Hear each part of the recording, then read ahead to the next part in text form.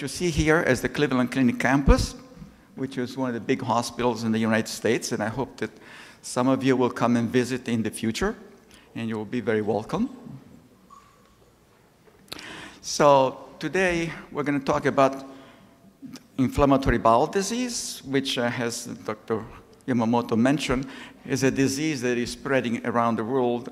And the question is, why do we have Crohn's disease and ulcerative colitis throughout the world now, almost throughout the world, then why is our disease increases? What has happened in the last 100 years or so that has changed the situation so dramatically? So before World War II, basically, we, there was very little knowledge and very little presence of the disease, primarily in the northern countries of Europe and in North America. But as time went by, in the second couple of decades, then the disease started to appear in other countries like Europe, South Africa, in Oceania, in Australia. And with time, you know, other countries developed, and the countries where the disease appeared first, there were more cases and more severe cases. And uh, now we have a situation in which uh, the disease is present, even though may not recognized in throughout the world. And the question is, is this going to be the picture of inflammatory bowel disease in the future? Will all the countries in the world have a lot of Crohn's disease and a lot of ulcerative colitis? It's important to remember that this phenomenon is not restricted to Crohn's and colitis, but many other what we call immune-mediated chronic inflammatory diseases like psoriasis, rheumatoid arthritis, multiple sclerosis is exactly the same phenomenon. This is important to notice because has important meaning. It means that something has changed in the environment or in the humans that, that now promotes the presence of chronic inflammation in various organs. And IBD happens to be in the intestine, small bowel, large bowel, in other parts.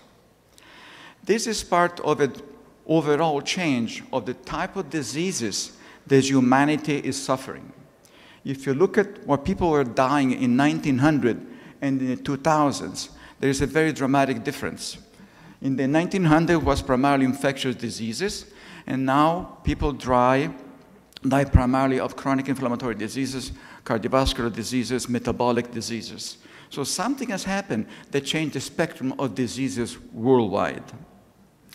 This is a classical picture from Dr. Jean-François Bach from France, showing a phenomenon which is very well established, where we see the inflammatory diseases declining over the years, at the same time the increase of chronic inflammatory diseases, IBD, rheumatoid arthritis, IBD type 1, and so on. So these are real phenomenon. So something has happened.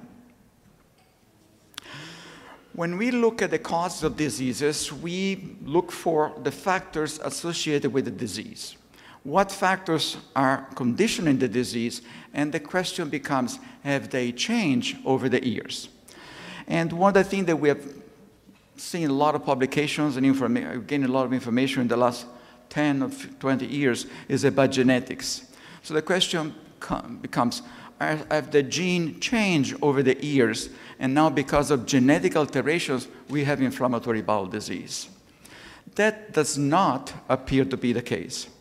This is a study that we've done in Cleveland collaboration with University of Pittsburgh, where we see the distribution of Crohn's disease associated genes between normal population in blue and in Crohn's disease in red. And what you see, a big overlap.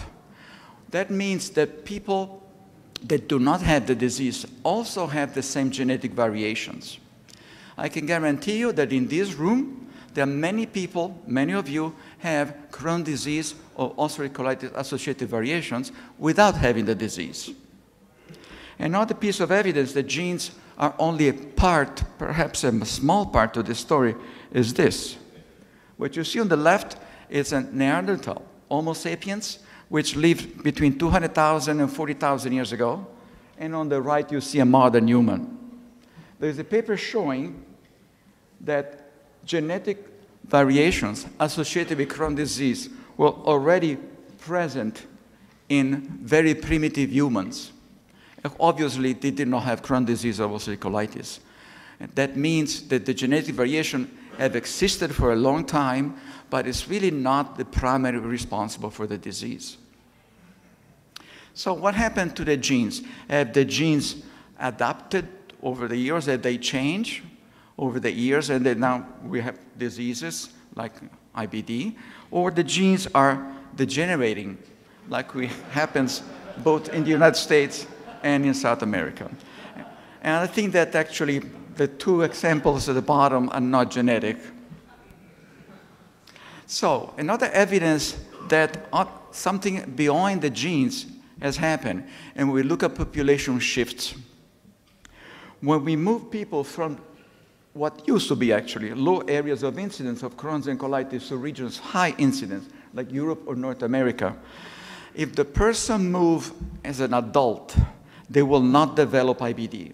But if they move as young people, the chance of developing IBD was as high as the local population or even higher, like is happening in Canada. That tells us very strongly that the genes move, but the genes in the country of origins do not condition the disease, but when they move to a certain environment, certain countries, then the disease develops.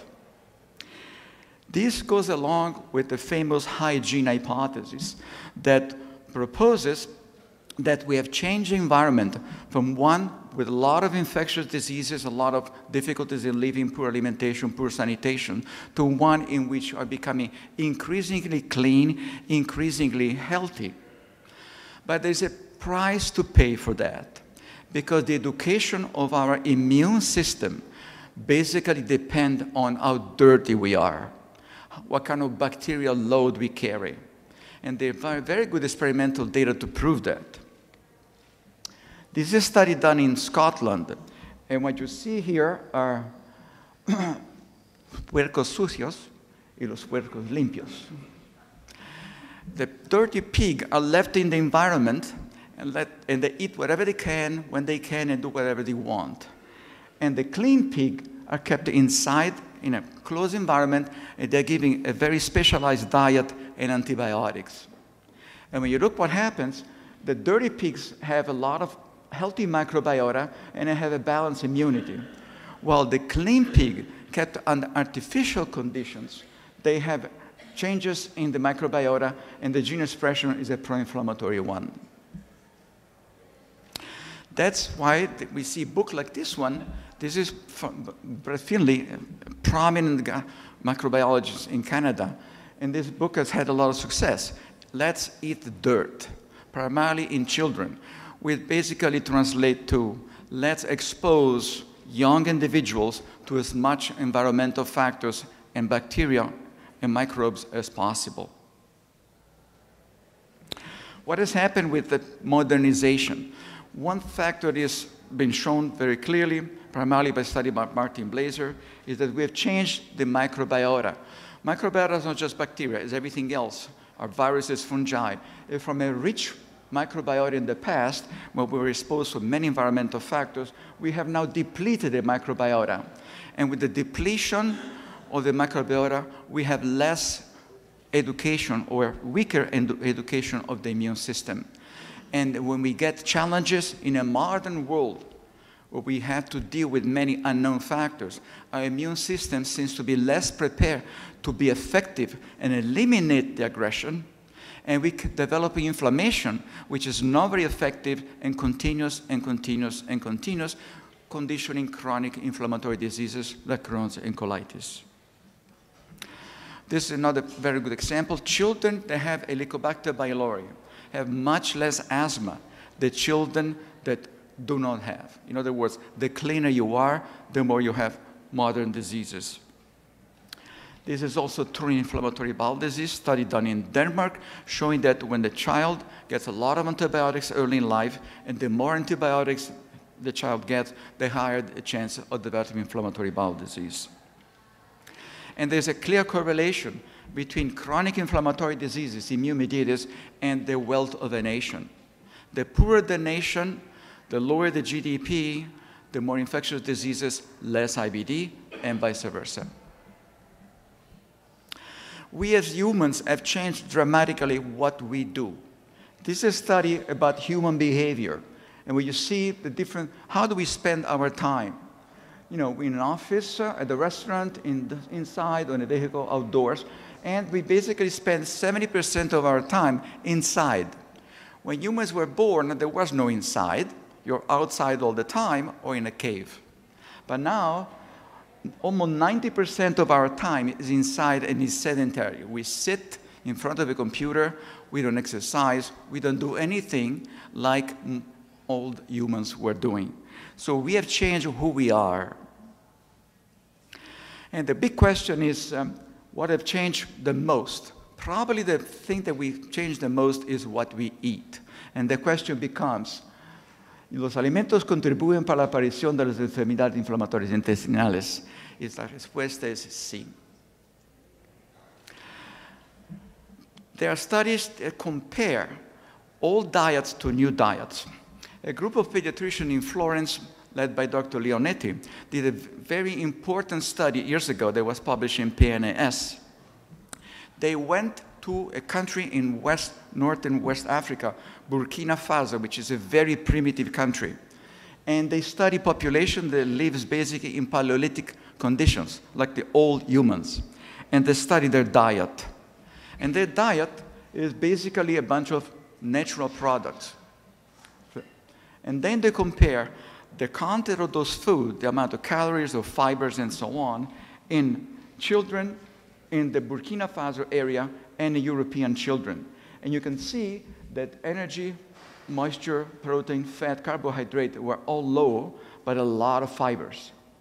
And when you look at European children, it's exactly the opposite too much calories, too much mm, proteins, too much fat, too much carbohydrate, and low fiber. Basically, we have inverted a healthy primitive diet to a modern one. And with that, we have changed dramatically the microbiota. If we look at the microbiota composition in rural Africa and in Europe, there's a complete inversion of the type and quantity and quality of bacteria. And with that, we change also the calories. So basically, in modern society, we eat too much, and the quality of our food, which is abundant, is very poor. One of the examples in Japan, Japan was a country was basically living off rice and fish until World War II. And then with Western influence, they started to eat milk product, hamburgers, meat, and so on, and the disease appeared. Obviously, these are just correlative studies. We behave certain way, and we have disease in certain way. But basically, and I was having breakfast with Dr. Yamamoto this morning, we agreed that what we eat every day on a regular basis is basically a pro-inflammatory diet. We use a lot of artificial sweeteners that change the, the microbiota. Emulsifiers are you know, all the food that we eat because to be commercialized, a product must have emulsifiers. We smoke, we use excess of salt, excess of fat, and all of these to chronic inflammatory diseases, one of them being IBD. And there's a lot of evidence that environmental factors are associated with IBD. Excess of fat, particulate matters, in other words, pollution, maternal obesity, excess of salt. And the experimental level, you can show that all of these factors cause inflammatory bowel disease in animal models or make inflammatory bowel disease in animal model worse. So I believe that the diet, among the many, many environmental factors through epigenetic influences, are the most important factors that condition inflammatory bowel disease because the diet affects directly the metabolism, the gut microbiota, and the immune system.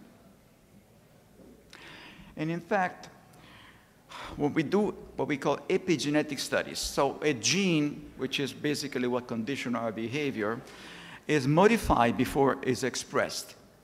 And what we call modification, the gene we call epigenetics. So again, in experimental models, if we have a healthy diet, fruit, vegetables, fish, you know, and we look at the response of the genes in tissues like the colon, the fat, and the liver, we have what we call histone modification. You don't have to we don't, we're not going to go into detail that, but basically the DNA is modified depending on the influences that come from the environment. And if we have a healthy diet, we have a normal gene expression. But when the same animals, or for that matter, the same humans, the same people, eat a Western diet rich in salt and fat, in the same tissues, the modification of gene expression are different, the chromatin adapt in a way that alt cause alteration of gene expression towards a pro-inflammatory pattern. So basically, if we ask the question, what has changed? What do we have IBD? I think that is basically a phenomenon of human evolution. Human evolution as or life on Earth has existed for billions of years. And it's been a very, very slow process. And now, in the last 100 years, because of the Industrial Revolution that started in England in the late 1800s, we have completely changed the way we are, we behave, and now we basically have not had the time to adapt the body to the changes imposed by the new environment, as the price to pay is chronic inflammation in the case of inflammatory bowel disease of the, of the intestine is Crohn's and colitis. So if you want to look at the cause of inflammatory bowel disease, all you have to look into the mirror and you'll find the cause is yourself or ourselves. And with this, I close and I thank you very much.